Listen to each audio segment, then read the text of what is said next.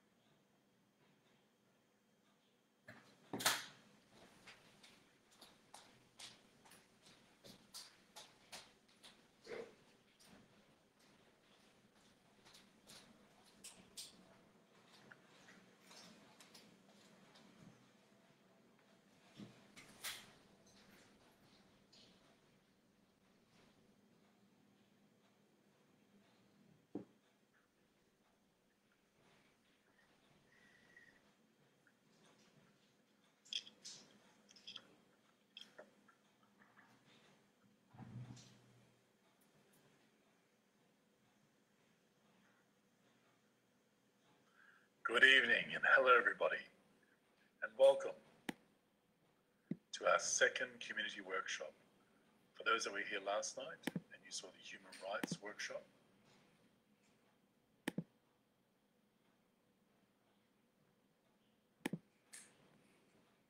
I'm sorry, I'll take a step back and do that again. First of all, my name is Sherry Beaver.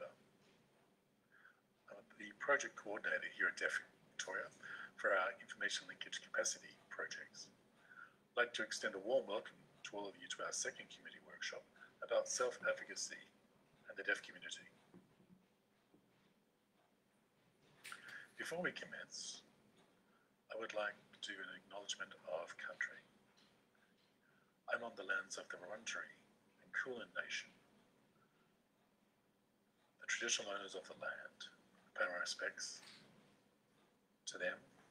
This is where we live, breathe, and work.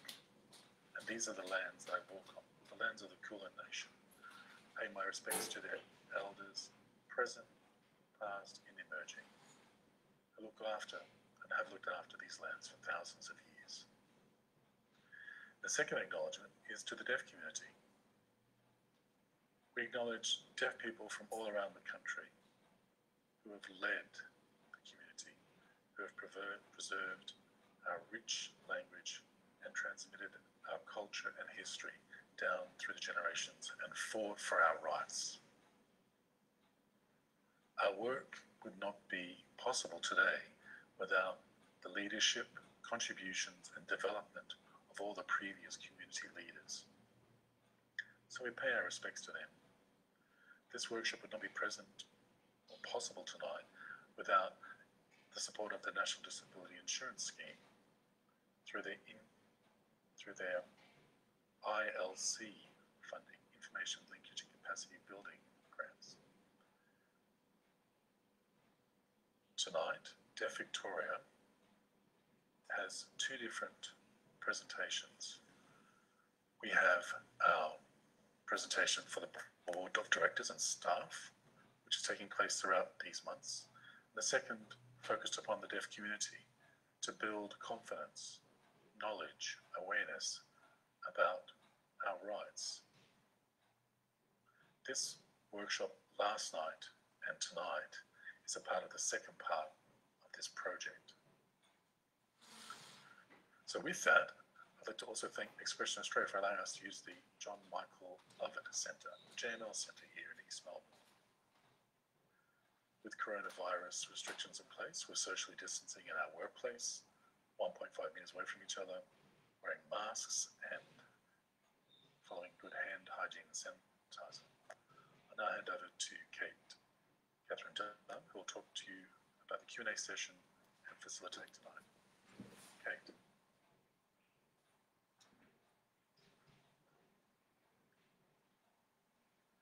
So, as you heard, we're really pleased that all, all of you are joining us tonight. We're thrilled for you to be joining us via Zoom and Facebook. There were lots of questions last night. It was a really engaging presentation. If you want to ask a question tonight, there's a few options. Please know that you can send a question to us uh, on 0431 476 721. You can send a question either in Auslan on a video or a text message in English. It's your choice. If you're watching us on Facebook tonight, you can put a comment in there and we'll follow you up and we'll take your question and we'll ask Mel to answer it later. If you want to join us tonight on Zoom, you're asking questions there, just look down the bottom. You'll see the Q&A tab. Just hit that tab and pose your question in there. If you're joining us on Zoom and you want to ask a question in Auslan, please type I'd like to ask a question in Auslan. And then we'll contact you and then we'll spotlight you so you can turn your camera on and ask your question. Please don't hold back to the end of the session and it may miss your opportunity. Please fire your questions throughout the session and we'll be monitoring those and make sure we get through them. So without further ado, I'll hand over to Melissa Hale now and uh, I wish everyone a good evening and enjoying a great deal of Melissa's information and presentation tonight. over to you now, Mel. Thank you, Kate, for that introduction. Hi, everyone. My name is Melissa Hale, and I'm the coordinator of the Disability Advocacy Resource Unit. It's also known as DARU. What does DARU do? In short, we look after 24 different disability advocacy organisations throughout Victoria, including Deaf Victoria. We provide training in the area of advocacy and education, changes in the law and policy. We show uh, a whole range of different techniques and strategies, including professional development. development. Tonight, I'm just going to give you a, a brief insight into what is advocacy. The objective is to help you better understand advocacy so you can better self advocate. Now, tonight, this is really going to be giving you information and examples. Okay, so it's not as though it's gospel truth, right? And they're not all specific situations uh, related to only areas, particular areas. I really want you to be able to take the gist of it and be able to apply it to your own circumstances. Can we just go back one slide? Thanks. So, what is advocacy? Advocacy is acting, speaking, or writing to promote, protect, and defend your rights. So, in other words, if you have a problem, you need to take some action to solve it. That's advocacy. Advocacy a, has a focus upon solutions.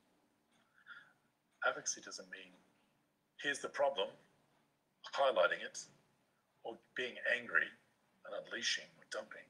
No. I'll give you an example of what I'm saying. If I'm angry, for example, let's say the quality of captioning on the television is not very good. I'm really angry. I'm going to vent on Facebook. That's not advocacy, right? Yes, you're highlighting the problem. You're telling the wider community about uh, lack of quality of captioning, but there's nothing that's going to happen or follow from it. It's just noise. You know, I'm also angered when I don't have good quality captioning to access television. But you know what? You need to know where to make a complaint. It could be one of the television broadcasters. It could be going onto their Facebook page or sending an email. But three things I want to share with you. One, explain the problem. Two, explain the impact on you or other people in the deaf community. Three, provide a solution. Okay? That's effective advocacy. Why? Because you're highlighting a problem and you're focusing on a solution. People think the word complaint is a bad word, it has negative connotations. Com a complaint or complaining is not a bad word. It's a good word. It's a good thing. If you know how to complain well, you make change happen through your complaint. No one ever made a complaint, because everyone was worried about offending other people's feelings or walking on eggshells or being called a, a continual complainer, do you know what? Nothing would change in life. Complaining, complaints help business, help government to understand what they need to do, the right thing for their customers or clients or citizens. Do you know what? Often organizations don't know you have a barrier or an issue. What's important though is not only to present the issue or the problem, but also a potential solution. I'll give you another good example of advocacy. Auslan interpreting on our emergency broadcasts. You know, with coronavirus and emergency announcements via our state or federal government, many uh, of those now have Auslan interpreters, if not all of them. And a lot of information you'll see there. They talk about the problem, impact on the deaf community, and then a solution. And they get that. And that's why now they've agreed for all emergency announcements to be Auslan interpreted. It was a lot of work to get that to happen. It wasn't just one complaint, it was a series of many hours of meetings. But we brought about effective change. Now I want to talk about different types of advocacy. I'm going to focus on four different types of advocacy tonight. Individual advocacy. So when you have a problem yourself, you're trying to work through something, you're coming up against a brick wall, you may want to bring in a professional advocate to assist you. The person's trained to be able to deal with particular problems, you could get an individual advocate from Deaf Victoria. That's free of charge. Catherine Dunn, Kate, who spoke earlier this evening, is an individual advocate. She can assist you. Daru helps people like Kate. We train them, provide information, demonstrate strategies practical ways so they become more effective advocates. It can be any issue, any law. Related to the NDIS, education, employment, access to the community, access to sport, access to any sphere in life. If you're unsure, the best thing is to always ask. Now, I'm going to give you an example of how to use a professional self-advocate, individual advocate. Let's say you're trying to get the right NDIS plan and package for your needs, but the local area coordinator says, no, you've tried your very best, you're frustrated, you're beside yourself, you're at your wit's end. You may benefit from having a professional advocate with you. Do you know why? That person's objective. They're not emotionally invested in your life. They're not dealing with your frustrations, your stress. The person will listen to you, identify the issues, and assist you get what you want. They could also share some information to you. Uh, they could assist you through advocacy, representation at meeting, and also written communication. Now, the second type of advocacy I'm going to talk about tonight is self advocacy. So self-advocacy is when I myself am responsible for myself. So I do all the research, do all the legwork, and learn how to become an advocate. I may do this work in a group with other people. I may research particular issues, different options about how to make a complaint. I do all that work on my own steam. The different types of self-advocacy groups in Victoria you may or may not be aware of all of these groups um, are disability focused. Some of them may be um, the same type of issue or cause focused. Now, the third type of advocacy I'm going to talk about tonight is peer advocacy. That's a new growing area. We're seeing growth in this, of peer advocacy. Now, this could be a person with a disability or a similar problem in this group. One person has advocated uh, about a particular problem they had, and that person as a peer then leads, educates, guides others. So it's peer-to-peer learning, peer-to-peer advocacy. So there are others in the group who have the same issue, that could be similar disability uh, type or similar cause type, are able to have the same outcome. And finally, systemic advocacy. So that's when you or a group want to make change to a system, policy, or a law that benefits everyone. For example, compulsory masks in coronavirus. If you want to change to that to allow the mask to be taken down to assist with lip reading or other forms of communication, that's a policy change. That just is not something that one individual wants, but many people who are deaf wanted. And that's a different process. But all of these four different forms of advocacy being different are all equally important depending on the reason that one of them will be employed. And now I want to talk about advocating for yourself and a few things you need to think about when you embark upon doing that. So when you start advocating, you need to work out, first of all, what the real problem is. You think, Melissa, come on, that's a simple question.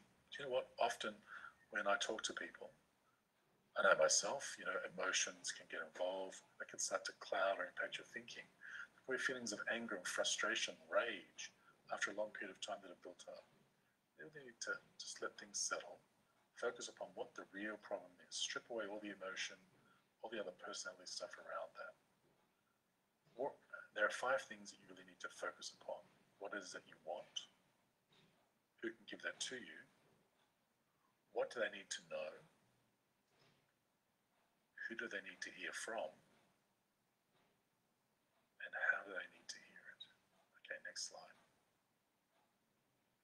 Now, I'm going to show you an example. Remember, these are just examples, okay? It's not gospel truth.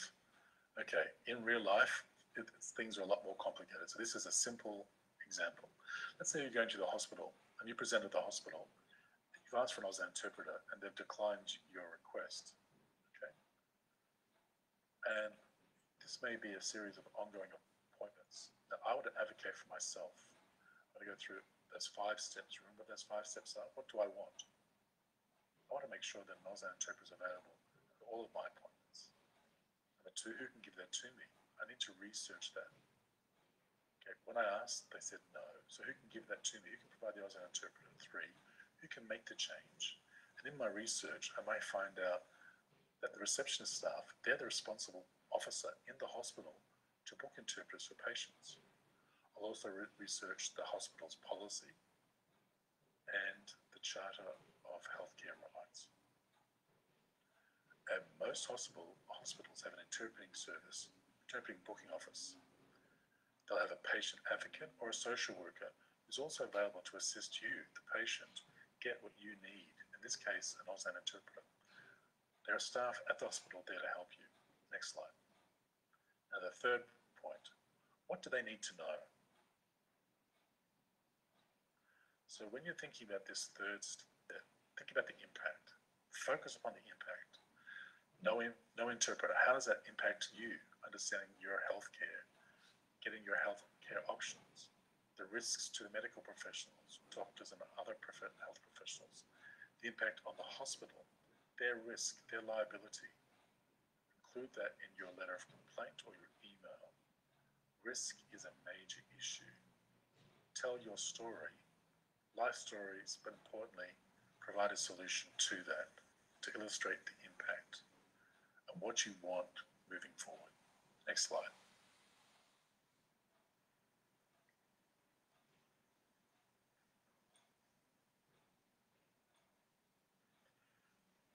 Okay, who do we need to hear from? You. It's your story. It has a very powerful impact.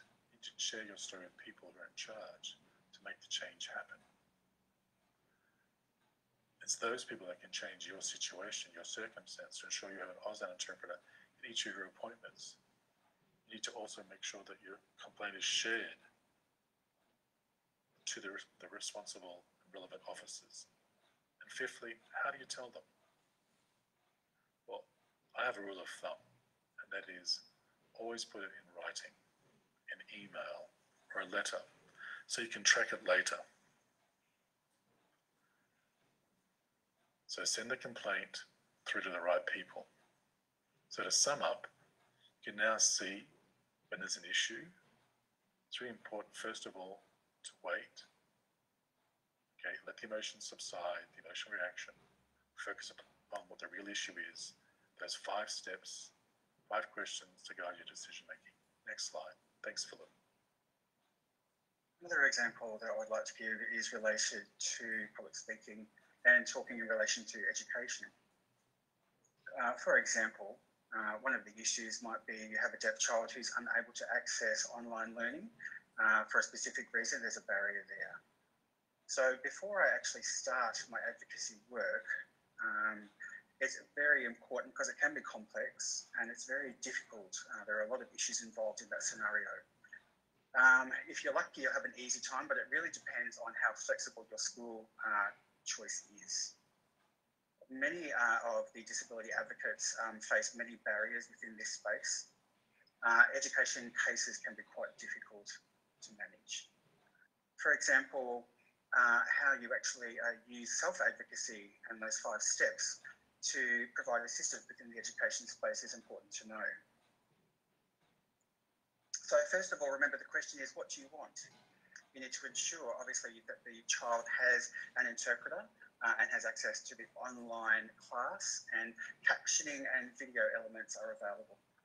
Uh, secondly, who can provide this assistance?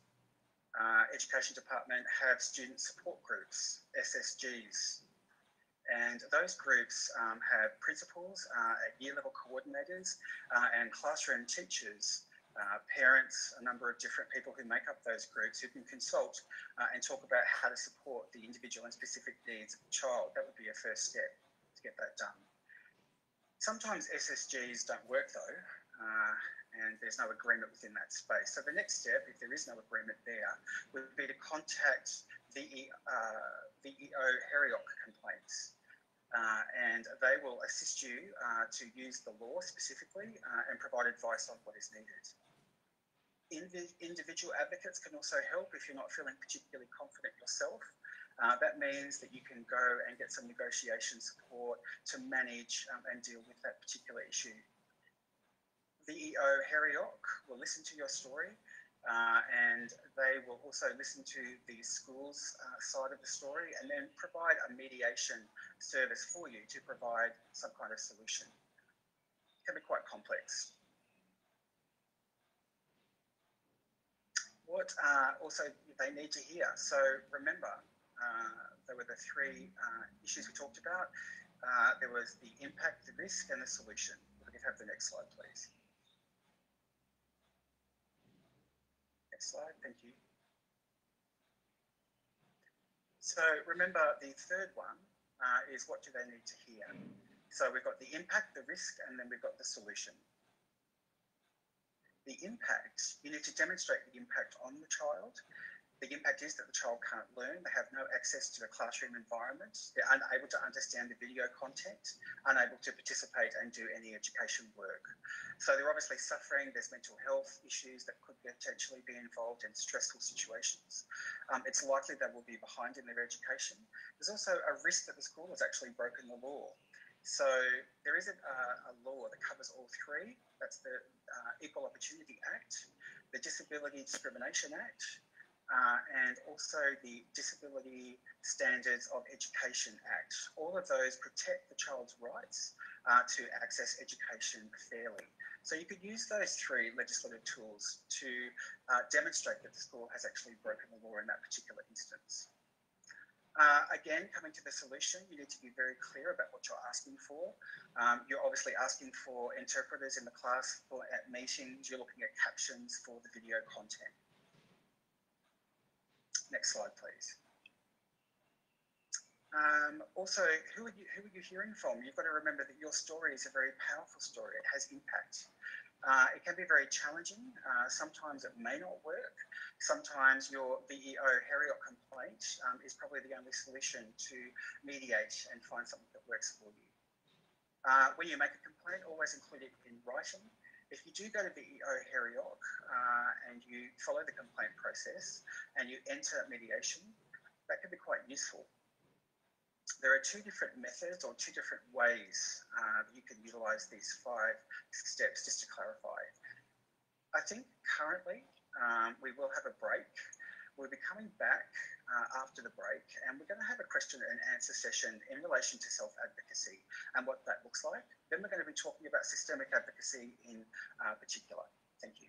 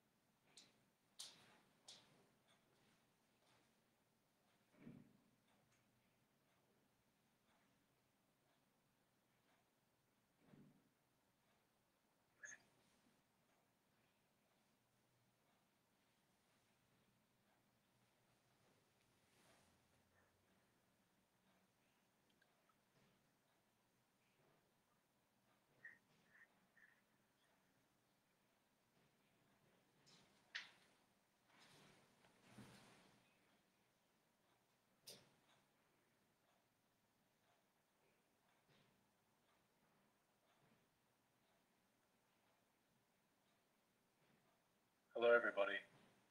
It's Catherine here. A few technical issues this evening. Lots of cameras, lots of devices. I'm sorry. But with coronavirus, corona life, everyone's working from home. We're all getting used to this. It's also different. The questions are coming in thick and fast now. Lots of questions about self efficacy. Are you ready?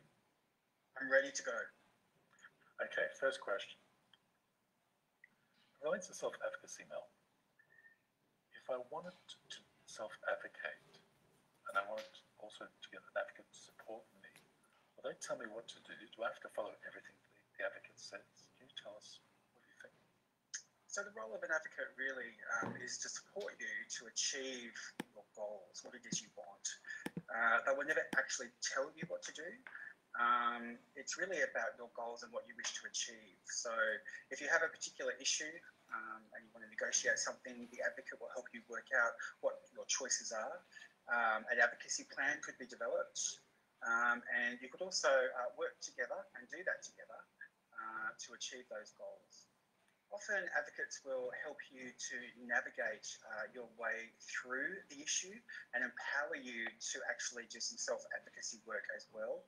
Uh, and also we'll work with you um, to help you achieve those aims. So the advocate will never ever tell you what to do directly, though. You're right. I just wanted to add to that. As the individual advocacy officer, of advocacy officer here at Deaf Victoria, often clients will come to us and they want to talk about particular issues. Our objective is to empower people. If they register and become a client, then have that ongoing relationship. We always ask the first question, what is it that you want to achieve?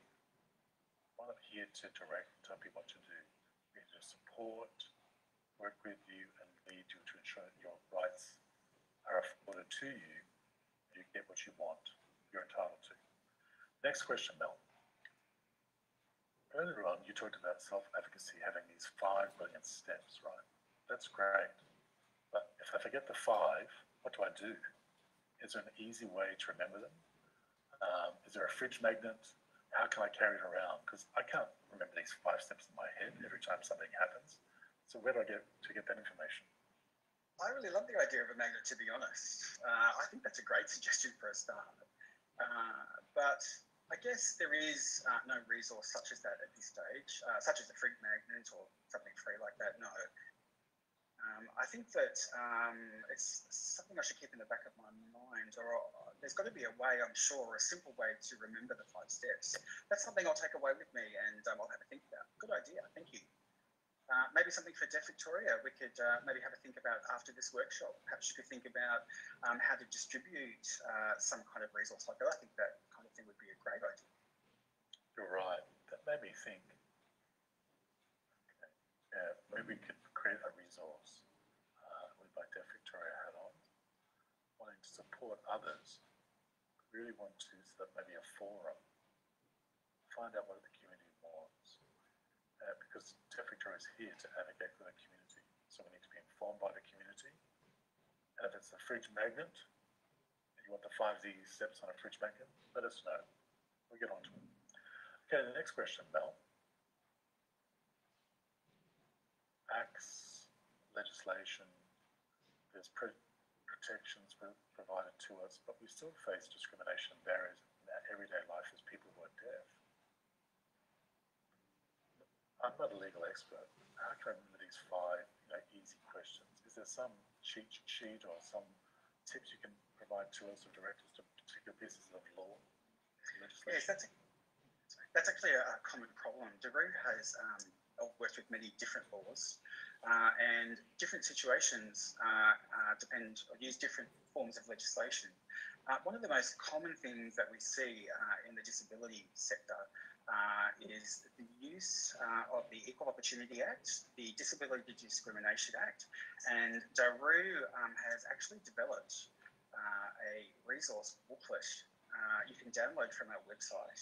Um, it's nice and easy uh, and it explains what's involved in those laws. It's not a complete compendium of the law itself, but it's just something nice and easy that you can follow uh, that talks to the law Daru uh, has that information and also runs a course on our website. It's not a long course, um, but certainly um, it's, it's, a basic course in relation to the law.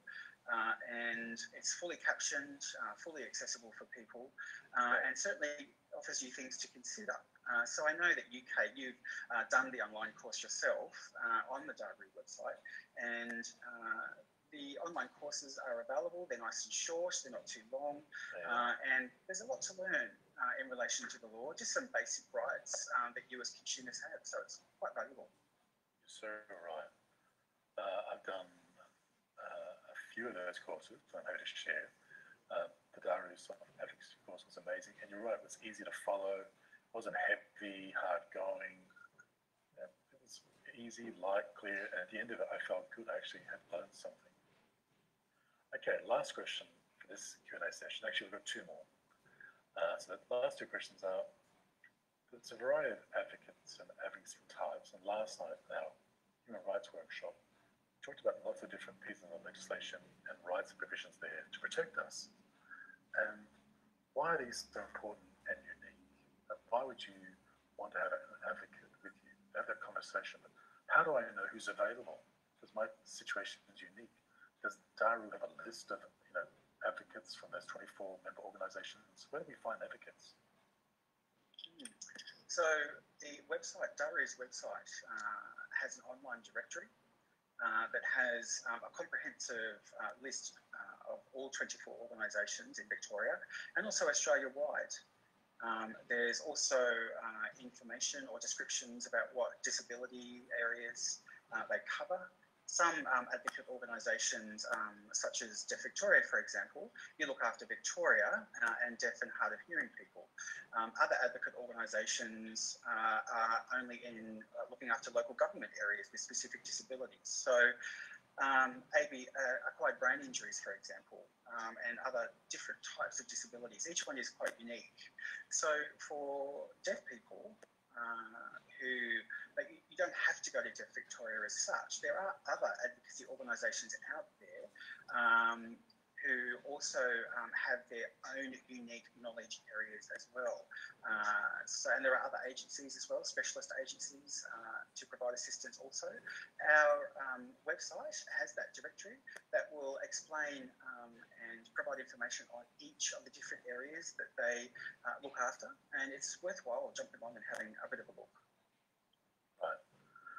Uh, it's always key to know what your options are in life, and fortunately here we have lots of options when it comes to advocates. So if someone came to Deaf Victoria, we'd make that time, let them know the advocacy service that we can provide to them. So for example, a deaf person approached us and wanted a particular type of support, and it was a specific support about another disability type or legislation. We could call in other advocates and other organisations to work with us to provide the best information advice to empower and hard of hearing people in Victoria. Now, the last question, Mel, before we move on to the remaining part of your presentation. The question is, okay, so I've tried advocacy. I'm not getting any response. No one's listening to me. That's fobbing me off. What do I do? What, what do I do next? From the Deaf Victoria point of view, I agree. Unfortunately, uh, the amount of funding that advocacy receives is low, so you could be waiting for some time and you may not get an immediate response. So the number one tip that I'm going to give to all of you and I'll share with you, keep this in your back pocket, is if you approach an advocate, flag the issue with them. If you don't have a, a response within a reasonable period of time, follow up. If you're not happy, you're not getting any response at all, find another advocate or advocacy organization. Like Mel said, there are 24 different advocacy organizations, part of Daru here in Victoria remember, follow up perhaps a week later if you haven't received a response, right, Mel? Because there's not a lot of funding for advocacy. So yes. What else could people do? Uh, yes, also, uh, there's another role that Daru has. It's very similar to being, I guess, a middleman um, between the state government and the disability advocacy organisations. So we can mediate between the two, provide information uh, on projects and things like that. One of the big issues uh, currently uh, and which is unfortunate, is advocacy organisations uh, are on a waiting list that's quite extensive at the moment. Uh, there are so many people who are on that waiting list waiting for advocacy support, uh, specifically for the National Disability Insurance Scheme, uh, and where applications perhaps have failed, um, they've had problems accessing scheme um, and receiving support from the NDIS. So it's quite extensive, um, and a lot of people out there who are waiting, and there just aren't enough advocates uh, to help everybody. Currently, um, that you know that is a big problem area.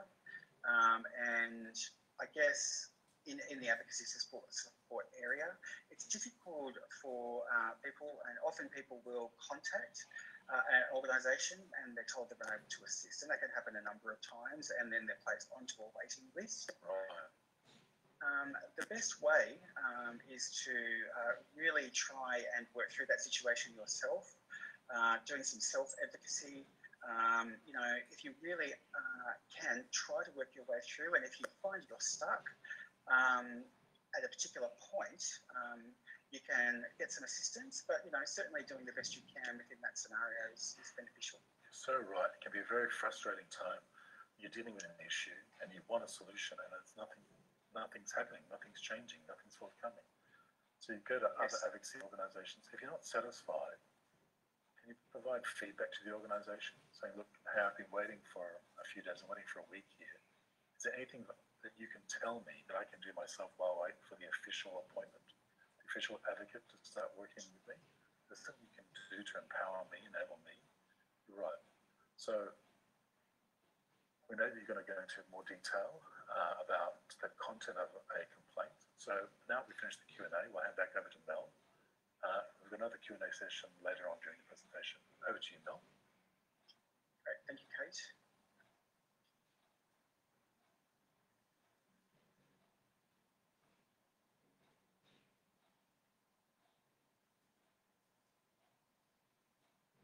Okay, uh, so we'll now move on to systemic advocacy and talking about self advocacy uh, and how to resolve perhaps our own issues uh, to this point.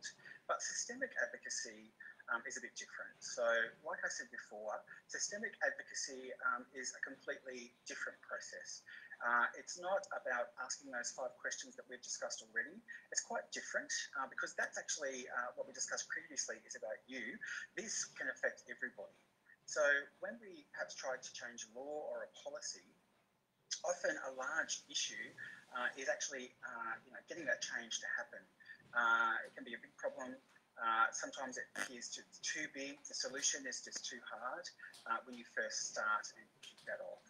So the first step is to actually work out what it is you're trying to achieve, uh, and then making your way from there. So getting a, an idea of the big picture, uh, what that big problem is, and then Look on the mapping that out, uh, that pathway to how you can actually then achieve that, uh, and what success ultimately looks like for you.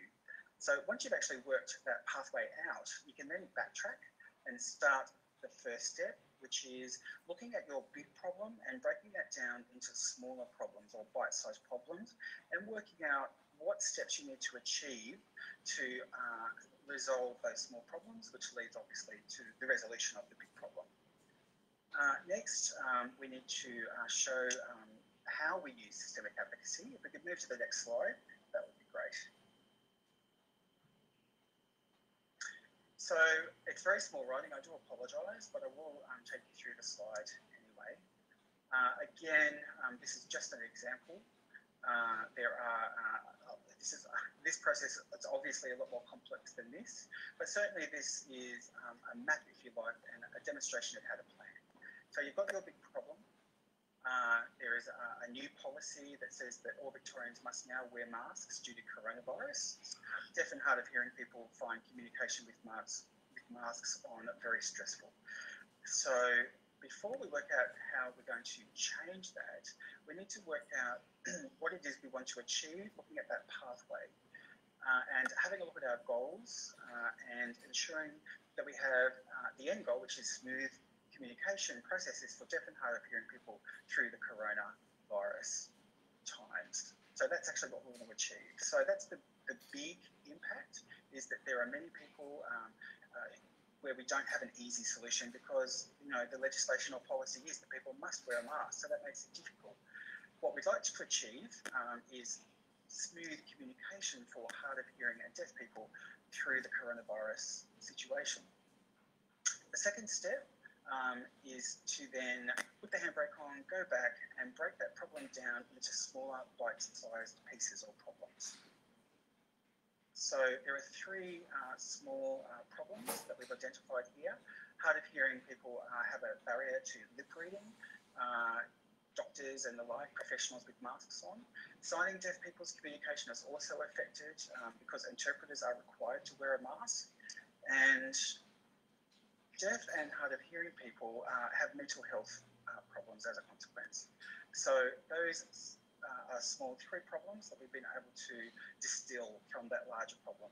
So thinking about the mask law uh, and systemic advocacy, um, we um, have broken that down into those small three steps, and we can then look at resolutions for each of those smaller steps, uh, which will help us then find solutions.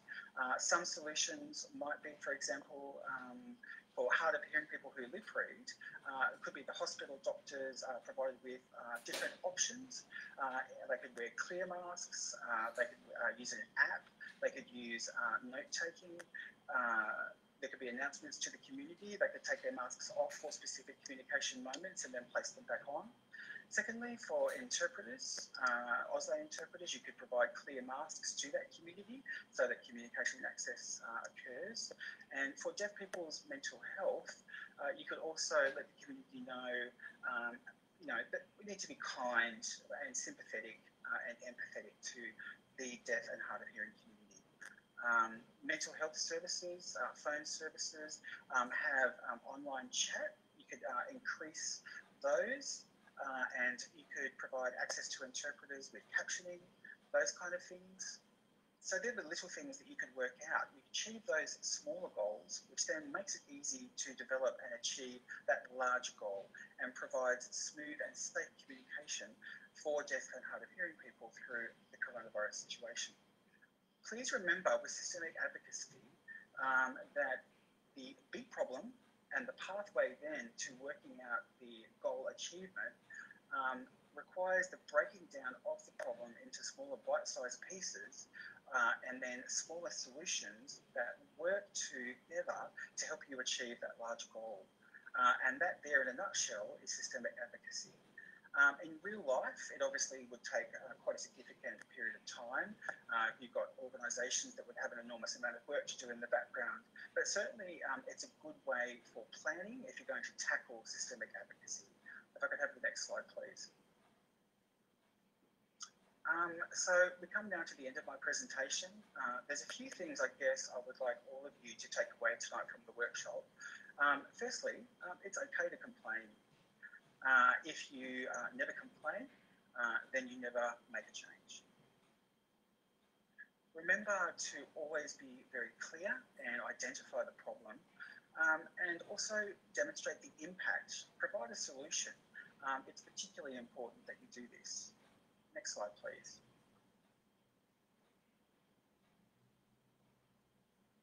Thank you. It's always um, worthwhile researching also um, where to. So I know a lot of people have the habit of um, putting complaints social media. in on social media, but that may not be the best avenue. Um, so you can perhaps maybe head to Deaf Victoria for advice and ask them for a specific and best place space to, uh, to complain. Uh, systemic advocacy um, uh, has been around for a long time. There are a lot of people who, uh, first of all, identify allies, uh, specific advocacy groups such as Deaf Victoria, um, Deaf Australia, Deaf Australia um, who have um, a good understanding uh, and are very powerful, a good understanding of the deaf community and its issues and are powerful. Um, just remember you're not alone. Um, if you are struggling uh, with uh, self-advocacy, uh, remember that Deaf Victoria is, is there to help. Um, and, you know, they're there for you to contact and to use it and use it often. Thank you so much for listening this evening. Um, I hope it has helped you in some way.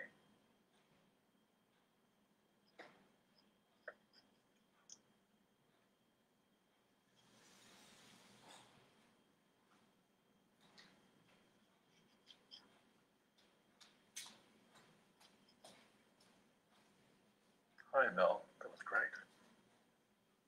Great presentation. Really thoughtful content.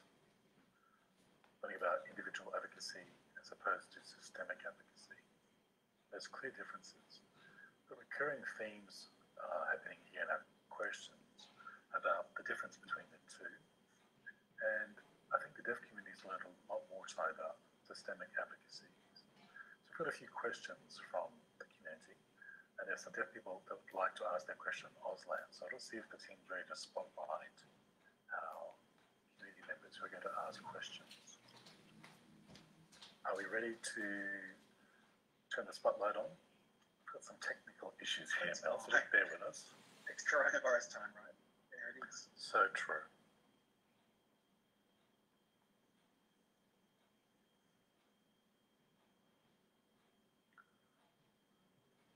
Uh, okay, Sherry, take it away. Okay, I'm watching the Facebook feed and the community, and there's a lot happening out there. They're asking questions of you, Mel, in terms of the areas that you work in. Uh, can you tell us a little more about advocacy in those spaces? Uh, is it how I work in the advocacy area? Yep. Sorry, my window's got a bit uh, misplaced, but certainly how I work or how I came to work in, in advocacy, is that right? Oh yeah, that's that's the question. That's a good question, actually. Uh, there's no, I guess, formal qualification as such um, to become an advocate. Um, there's no uh, TAFE course, for example. There's nothing that you can do as such to gain an official qualification uh, to be an advocate. Um, for, for many different reasons, I, I probably don't have time to go into this evening or won't go into. Um, but if you would like to become an advocate, um, then basically you need to know how to complain and complain well. Um, so it, it's helpful to know um, how to uh, write policy, um, how to uh, research law, how to uh, gain an understanding. Well, certainly you don't know, need to know everything about law, but you need to know where to find the right law that's applicable for that particular issue. Um, you could have issues within the employment area, uh, for an example. And you need to learn how to navigate the right law uh, and know what right law applies for that particular situation so you can navigate your way through the system. Um, I think that's probably the best way I, I could answer that question. Certainly, training for advocates. Uh, Daru, um, we certainly uh, have some on the job training. Yeah. Thanks, Mel. I think we're ready now to go back to Kate and then spotlight our first person who's going to ask a question.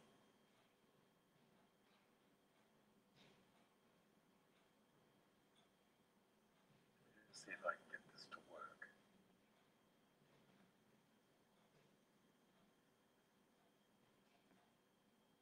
Hi, everyone. Okay, community member, Hadley Johnson, has a question for you. Hadley, over to you. Okay, here I am. Right. Thanks, Kate. Hi, everyone. I really enjoyed your presentation, um, Melissa. The community has a lot of anger, and we want responses, and we want them now. I know it's hard. Deaf Victoria, pay respect to them. And I watched Philip Waters last night. Really appreciate the presentation. I've heard what you got to say tonight from Daru. I know you need advocacy for different reasons. But you know what? Sometimes I get tired of self advocating. I want to bring in other advocates to help support me. But you know, they say I don't have an energy for that, or I'd rather advocate for that issue. So my question to you, for you is this: Many of us are very possible, um, passionate about the healthcare system. But you know, the healthcare system, particularly in hospitals, is broken down. So does that mean I have to research the relevant piece of legislation to get access, to get advocacy, to get things happening that I need in the healthcare system? That healthcare system is so broken, uh, and we need to have more responsive services when it comes to Auslan interpreters. Um, we also need to have healthcare professionals that are deaf aware, that have deaf awareness training, that understand about different types of communication modes for deaf and hard of hearing people. What's your advice? How can we um, how can we break through the healthcare system, particularly in public hospitals, private hospitals as well, so that any deaf person can present at a hospital and have to go through major issues just to get the treatment. Oh, you're deaf and you've got to organise an interpreter. And I've got to complain about that. Meanwhile, I've got a health issue. Mel, I can't wait you know, a month, six months. I want to walk in off the street like anyone else that does to a public hospital to receive a service. I'm like everyone else. What, what can I do? I really appreciate your response. Any thoughts? Well, thank you very much, Hadley. Um, actually, um, hospital uh, interpreting uh, is one of my uh, passions as well. Um, back when I was working uh, at Deaf Victoria uh, for a long time, it was a passion. And like I said, uh, systemic advocacy um, has been around for a significant amount of time and hasn't been around for a long time. It has been around for many years um, and has an impact, and it takes quite some time to have an impact on the system. Um, I think the problem with hospitals is the policy changes uh, and also the law changes as well. And obviously, you have the right to an interpreter within the hospital. Uh, the policies are all there, uh, and you actually also um, have a right to choose which interpreter organisation you use to then select your interpreter to attend hospital. So you have options for many choices, and the policies are very clear about that. It's just when those policies hit the ground uh, and are being used by nurses and doctors without training, uh, there is a disconnect between what the policy says and what actually occurs in practice.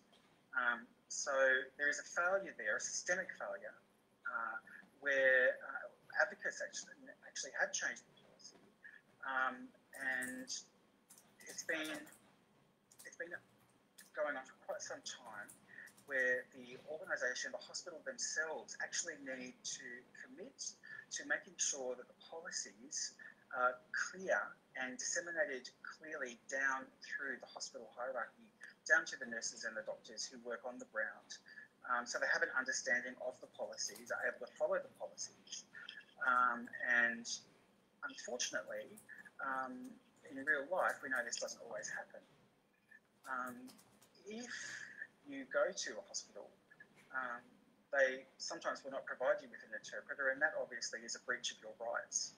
Um, so you can then say, look, uh, there is a policy there, and I would like you to follow it, but that's not always easy, and sometimes you don't win that. So if you go to a hospital, um, you want to have an interpreter, it can be frustrating.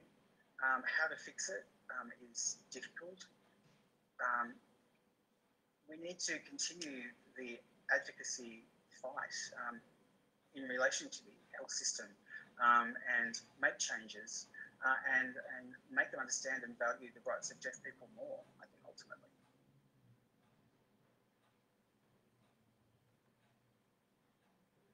Thanks for that response, Mel. I just want to um, chime in here. So, Deaf Victoria has been working, doing a lot of work on access to hospitals, as mentioned earlier, you were the previous manager here, Deaf Victoria. You wrote um, a brilliant report about Auslan interpreter provision in hospitals throughout the state of Victoria.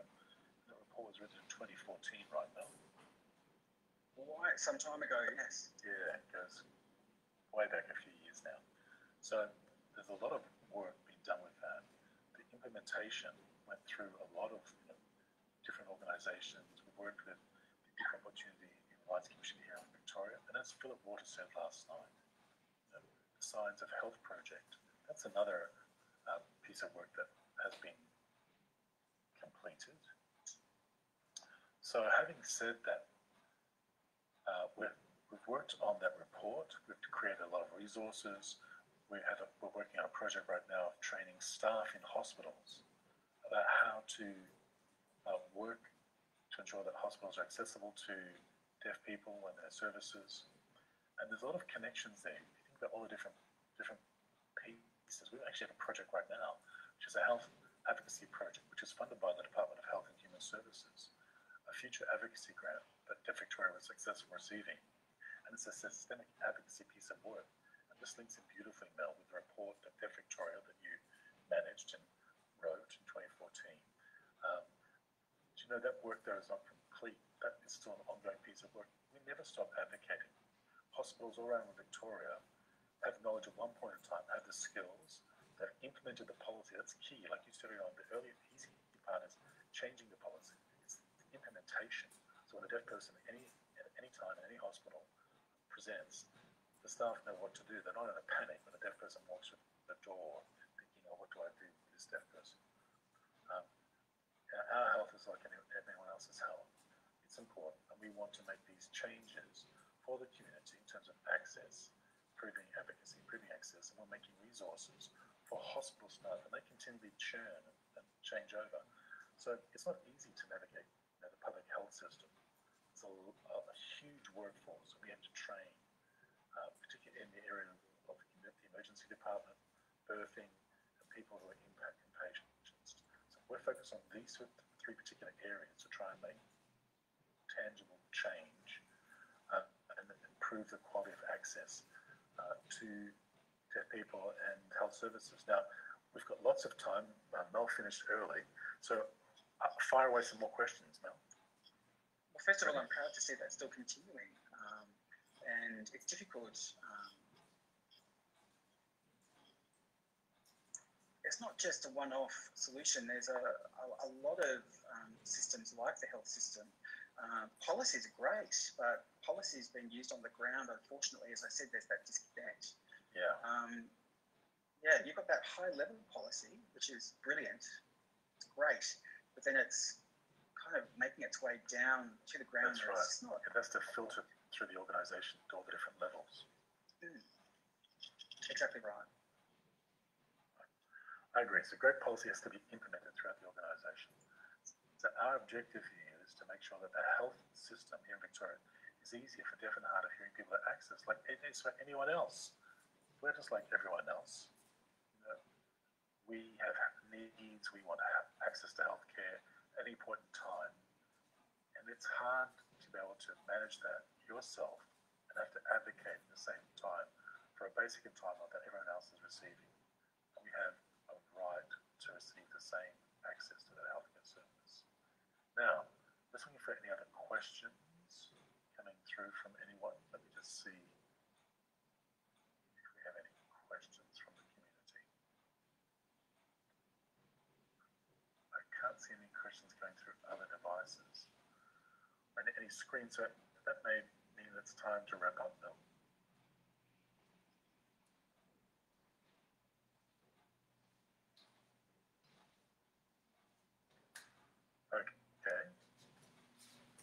So, if there are no further questions, we will wrap it up early tonight. Um, what to say? Mel, yet again, you've shared a lot of information about individual advocacy and systemic advocacy, uh, which was wonderful. Um, I hope everyone that's tuned in tonight, that's watched this presentation, has learned something about individual advocacy and systemic advocacy. Um, think about it a little more. Talk to your friends and family please contact us here at Victoria.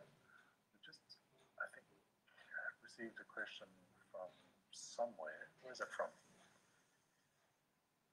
I'm going to just spotlight Kate now. Let me just take care of that.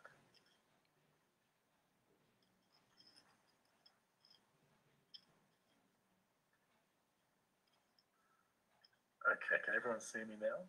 Yeah, we just received a question. It's regard to the National Disability Insurance Scheme. Let me just see. I'll just change the view of my camera. Okay, that's better. You can see me now. So Mel, Mel did speak earlier on. You can have this great new shiny thing called the National Disability Insurance Scheme, but the, all that information doesn't filter through the workforce, all the different levels, and we come up against frequent questions and issues. Mel, what do we do when we come up against these issues in the NDIS? So the question is other things about barriers, you know, people receiving plans and they're not what they expect. What, what can we do?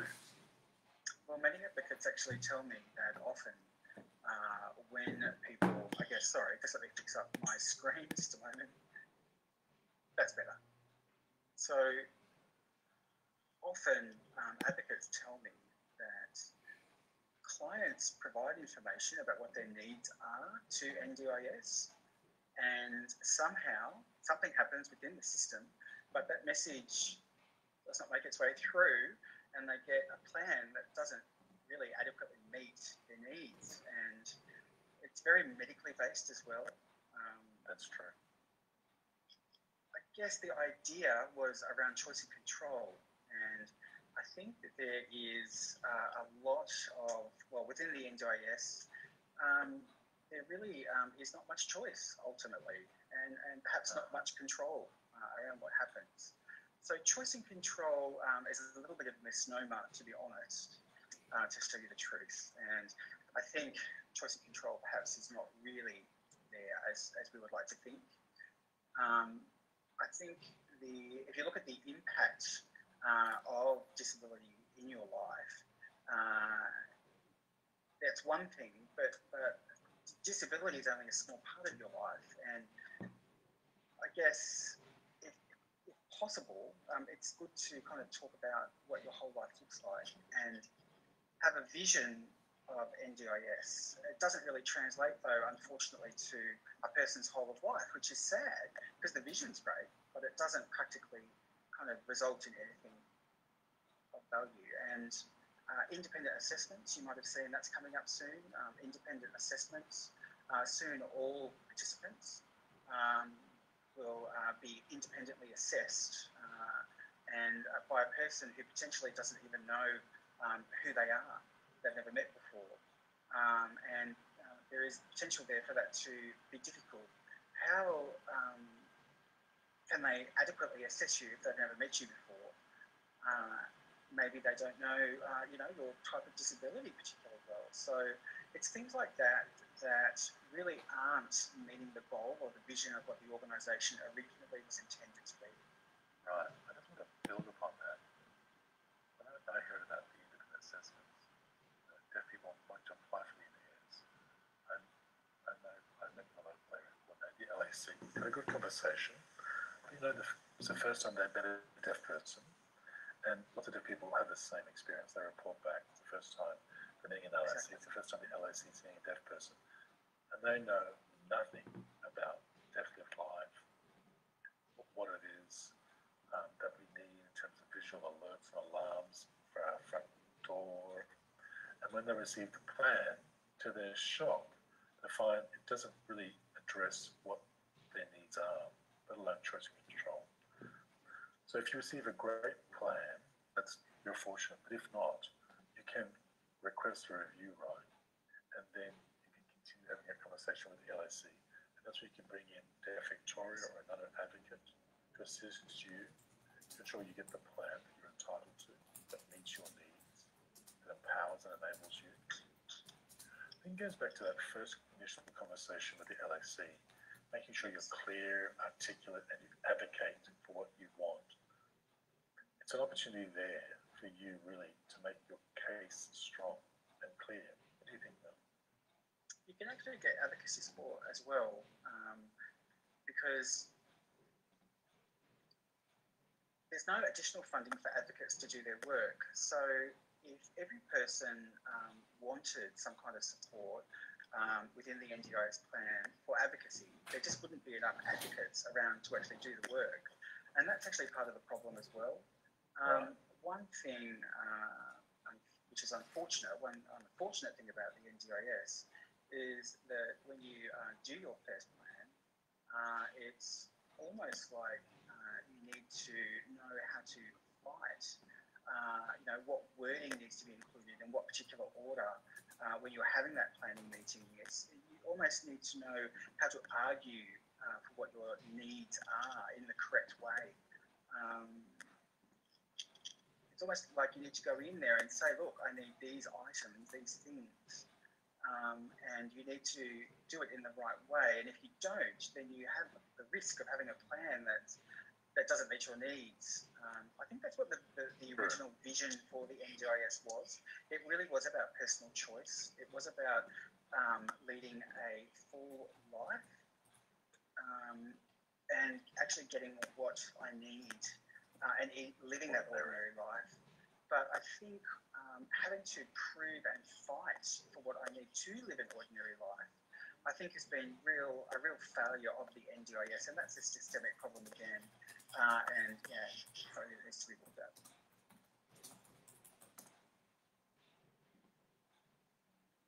True. I'll just wait to be spotlighted. All right. Other That's so true. It's so frustrating. You know, there's not enough funding for advocates. That presents a different challenge. But whether it's the NDS or the hospital setting, if I do present at a hospital, I'm just going to the hospital, okay? You know that hospitals take appointments from nine to five, but people have lives and things happen outside of nine to five. So what happens if I present at the hospital out of business hours? How can I advocate? How can I get an interpreter that's not presented to me?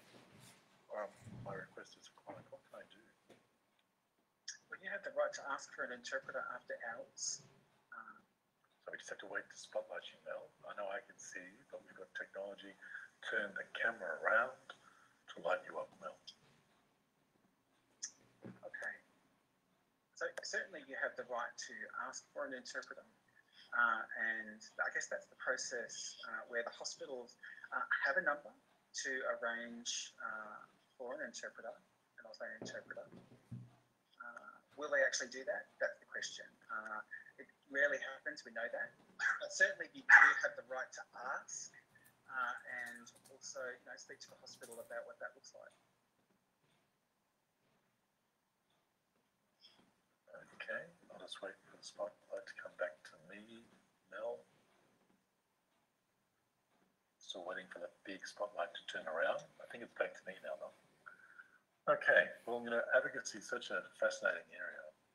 Deaf people in their everyday life have to advocate for things that everyone else just receives and takes for granted. So, if I want more training, well, where can I get some training? Well, you've been doing this for a long time, many years of advocacy. Have you had to undertake any particular training, or what more training is available for people in the sector? Um, what more can people do? So I've been an advocate for a long time, so long I can't remember, but really my background hold on for a moment, social worker. Uh, and that's how I actually learned how to write uh, policy uh, and work through that. And uh, writing submissions, for example. Oh, sorry. Can, I, I think we're a bit, we have a few technical issues again. Yeah, I understand. The view on the screen changes. Just give you a moment to configure your screen. I hope everyone can see us okay. Okay, so unfortunately my screen uh, moved around, but anyway. Um, so policy and training, of course, um, and I started working uh, at Deaf Victoria, uh, one-on-one with clients, um, with no formal qualification in advocacy. There, there is no such thing, um, but most of it was around professional development, learning on the job, law, learning about uh, different laws, uh, and also different human rights as well, the complaint processes, different complaint processes. Um, and I guess um, that doing that kind of work consistently um, really kind of enabled me to become an advocate, and that's really how that happened. Let's wait for the spotlight to turn around to me. Okay, spotlight's on me. You're right, Bill. Like I said earlier on, advocacy, okay, receives very little funding. So training qualifications are rare. They're few and far between on the ground. I think we need more forums like tonight to inform the community, to provide information to the community, and therefore empower the community. But I believe we've got one more question. I'm going to hand over to a community member who wants to ask that question in name. So we're going to spotlight them. Are you ready for your next question, Mel? Let's see if our technology is going to work for us. Just thank you for your patience.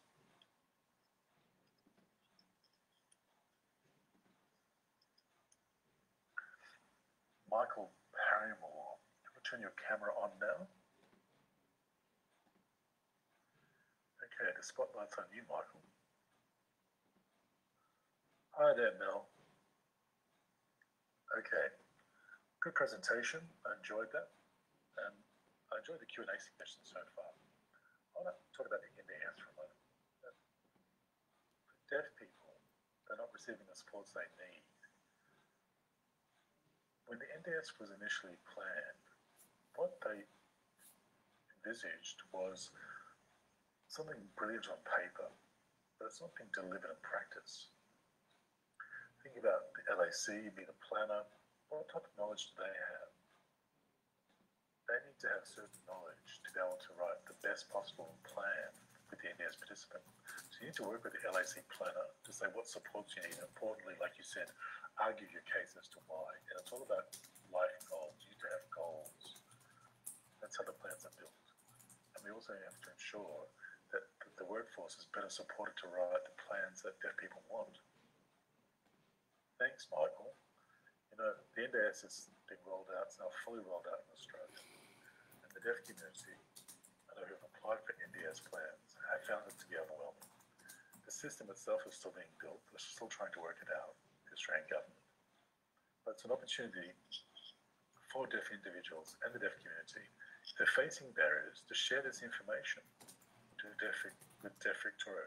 We'd really value you sharing your anecdotes, you know, your trials and tribulations.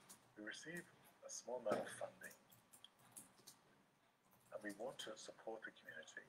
And we're also looking for issues work together with the community and then advocate to the government and set up projects that target specific issues which are of mutual benefit to everyone in the community. Mel, I think you've got a comment. Well, let's turn the spotlight on you. G'day, Michael Paramore. I do have something to add, um, and that is that the role of the advocate is really to be involved when something goes wrong. Uh, it's not, I guess, um, when the planning uh, is happening, it's when something goes wrong. So the advocate really uh, should get involved if uh, perhaps there's an appeal or a review decision uh, uh, for that person with disability. If they themselves perhaps are struggling and they're not sure exactly what to do, if they're not confident perhaps, um, then an advocate can step in and assist. Unfortunately, um, there are not many deaf as, as, such, but we've seen it with other disabilities um, where often uh, people with disabilities don't have uh, anyone else in their life who knows them personally, who knows them well, to provide that assistance. So the advocate really becomes a, a personal uh, support person also to try and work out and get a good plan. So it's not really the role of the advocate, you're right. Uh, the role of the LAC, uh, the, the, support coordination or coordinators, um, they're obviously people who can help uh, to develop uh, their skills uh, for those plans. Uh, but the technical role of the advocate is to get involved when something has gone wrong. Um, but often in real life, it can of course be a bit more complex than that. Thanks, Mel. Good question, Michael. Advocacy, you know, in the NDS, there's new. It's a lot of teething problems. We're still trying to work out the best way forward. Here is another question for you, Mel, and this is a, from another community member who is saying, I'm deaf and blind. Is it better for me to contact Deaf Blind Victoria or Deaf Victoria or go to Daru when I need some advocacy and some support? Mel, would you like to answer that question? Yes, absolutely. That's a, that's a great question. Um, to be honest, it's your choice. Daru um, does not advocate for individual clients. So Daru's role um, is to be a support for disability advocates to receive training uh, needs uh, for advocates as such. Um, so we're not there to support individual clients, that's one thing. Um, deaf Victoria supports deaf people, uh, deaf and blind people also, hard of hearing people. Um, and Deaf and Blind Victoria also has self-advocacy groups which means that deaf and blind people can join groups with other deaf and blind people and learn self advocacy, do some research, work together, and understand how that works within a self advocacy group. So it's a little bit different. Um, uh, if, and if you want something like personal advocacy, you can contact Deaf Victoria. Um, there are other organisations, as I said before, that could assist. Um, and you can contact Deaf Victoria, you can contact Deaf Blind Victoria if you would like to, uh, and you could learn to self-advocate uh, and then contact um, other deaf blind people too.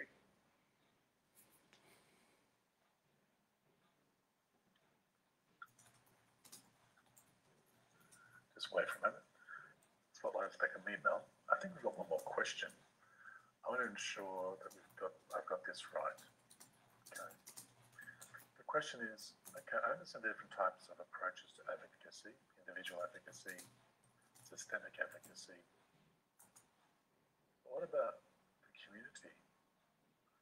There's an issue recently that blew up in the community, like and Black Lives Matter, those community-wide issues, or you know, Indigenous people and Indigenous lives matter, those Black Lives Matter. Um, that's systemic advocacy, right? Or is it individual advocacy? How do you know? Is it one or the other, or is it both? Are they mutually exclusive? Can you tell us more about the Black Lives Matter and how that fits in the advocacy process? So the Black Lives Matter protests, those ones uh, are campaigns, uh, if you like, uh, very similar to systemic advocacy, um, but I guess they're, they're more trying to demonstrate or, or to raise awareness of a particular issue. That campaign, that's probably the, the wrong sign for that, but that campaign um, I think it really uh, depends first on, on what the objectives are uh, of the campaign. Um, it can be really hard uh, to work out, if you look at the media, what the solution is and what the outcomes might be. So, systemic advocacy um, is, though, on the other hand, quite clear and structured uh, around what the aims and the goals are. Black Lives Matter uh, within the media, you can see a lot of campaigning, uh, a lot of certainly raising awareness of Black Lives Matter. But what we don't see um, is the, I guess, clear outcome of what that campaign is after. Um, there was the George Floyd who died over in the USA. Um, that was police brutality, certainly. But what outcome were they asking for in particular? Um, you can see that there is a distinction between um, systemic advocacy and a campaign as such. Does that answer that question? Thank you, Mel. It does answer the question. And we're still receiving questions from the community now. Now, someone just sent in a, a comment, not a question. It relates to a hospital. I'll share this with you, Mel. This is an ongoing issue for the deaf community and hospitals. This constant lack of access. It's not new. It's been around forever and a day. How can we improve this situation in 2020, Well, It just seems to happen time and time again to all of us, so many of us different situations. You, know, you try and escalate the issue. We're thinking, what are the solutions? Do hospital staff the workforce in deaf awareness training program regularly? Well, I can answer that question in part. Right. Okay, with individual advocacy, when we meet individuals, talk to individual clients, deal with individual issues, empower them then systemic advocacy, we have a project coordinator, Sherry Beaver, who you met this evening. Sherry spoke a little earlier this evening about this particular project. Okay, and this project has a clear focus and it's for the deaf and hard of hearing community.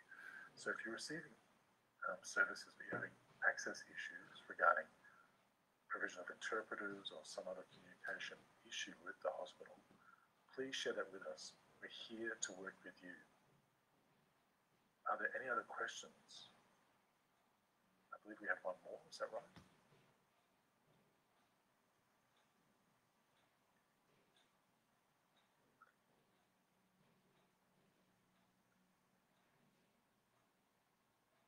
Okay, it, it relates to the NDIS again, Mel.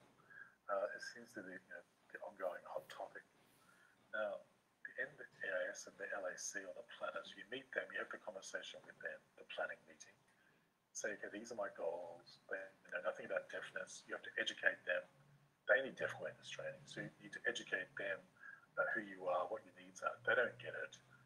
Advocate for what you want. You're not getting the plan that you want. You don't have choice and control. So the question for you, Bill, is you said earlier on, you bring an advocate when things go wrong. What if you don't want things to go wrong? can you be proactive? Okay, can the advocate be proactive? We don't want to bring an advocate when things go wrong. We don't want things to go wrong in the first place. What can we do there? So the first question I think was about NDIS. Um, Sorry, it was a long question. I mistake. I did um, throw a lot of information out to you there. I think there were two. Yes, it was around LACs not being aware of deafness. Yes. Yeah. Access barriers at the LAC. Unfortunately, when the National Disability Insurance Scheme kicked off, um, they rapidly deployed many, many staff, uh, and particularly in the uh, local area coordinated roles. And I think you know they had perhaps a week's worth of training where they had to take on board, you know, quite complex uh, elements. And I think really by the time that people had taken on board uh, about different disabilities, uh, you know, unfortunately they couldn't learn about every disability. That was not possible. So I guess I don't really have an answer to resolve that issue. I think that advocacy, uh, unfortunately, um, within those roles, people don't really understand disability as such. I think that they will learn more about disability, and that's probably an answer. In relation to being proactive with advocacy, um, really advocacy only gets involved when something happens um, that is not right. So being proactive, I guess, is more around uh, being aware um, about different activities, things you can do. Uh, for example, um, I'm just trying to think of a particular example. Um, masks could be one example. Uh, the wearing of masks, systemic advocacy in relation to that, the example I gave you earlier. So if you um, perhaps said, you know, we're all going to be wearing masks, masks next week, you could be proactive uh, and you could say, look, just to let you know straight away, masks, masks do not work particularly well for deaf and hard of hearing people. Um, you know, you need to find a solution um, for that particular uh, issue. And I think advocacy is more of a uh, reactive rather than proactive um, tool in that space. Great. Okay. Thanks, Mel. I don't think we have any other questions, right? Let's check all the devices, the different screens, platforms. No further questions, Mel. Once again, great presentation, very informative. We learned a lot about advocacy. Thank you, Mel. Uh, thank you, everyone, for joining us tonight on this Tuesday night to learn more about individual advocacy and systemic advocacy. Uh, we hope that you can apply this into your lives today and into the future. Now, wrapping up, I'll just ask a few other people to turn their uh, cameras on. I'll ask Paula now to give you a brief rundown on the new project that she's doing. Over to you, Paula.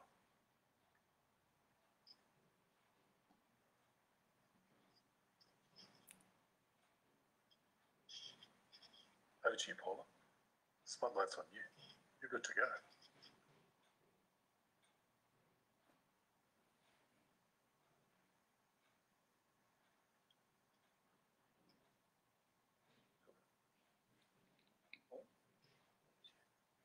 So we have a new um, project team that we've established that's composed of me, uh, Debbie uh, Kellogg, uh, and also uh, Shirley.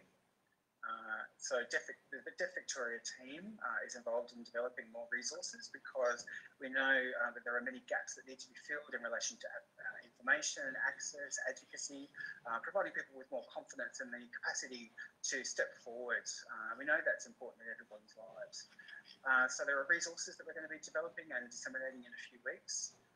we've actually asked community groups to provide feedback uh, about what the gaps are, any ideas, novel ideas they might have. Uh, we've got some ideas, or I've certainly gained some ideas from this evening's discussion, uh, and we're looking uh, at developing those. Uh, hopefully, they'll be done in about three weeks' time. Uh, and then they'll be launched. They'll be launched on Facebook and on Zoom. So there'll be more information coming this week. Um, any ideas you have would be great. and I hope that it provides you with some confidence and some assistance moving forward with your advocacy work and getting some assistance there. Great, thanks, Paula. That's exciting to hear about this new project, creating resources, including a fridge magnet. Who knows? All right, thank you, everyone. So, moving on now,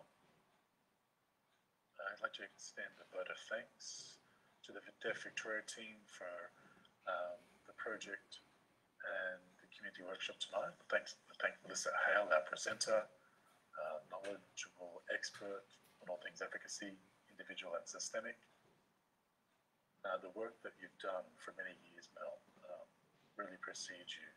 Uh, so I really appreciate you sharing information with us. Um, it goes back, you know, to the Deaf Victoria days here and now at Daru. You've been a wonderful advocate over many years. I'd also like to express our thanks to the Deaf Victoria team, Maxine, Kate, Sarah, tonight.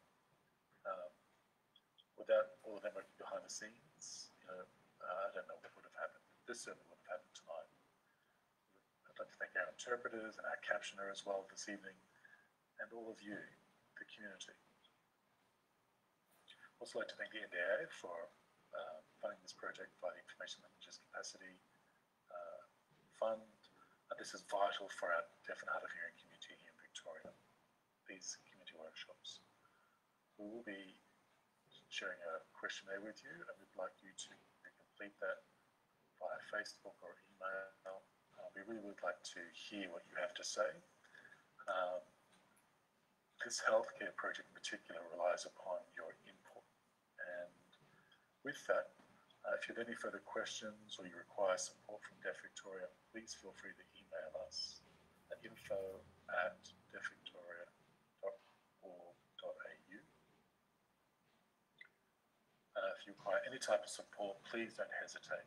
We're here to provide support to you and advocate with and for you. So with that, thank you very much, everyone, this evening. And lastly, I'm sure I'd like to see the, team and what they look like. So I'll ask everyone now to turn on their cameras. Join me turning your cameras on. And I'll say thank you to everyone. This is the team, including our interpreters, our captioner. Thank you, everyone. Great job. Thank you. Thanks, everyone.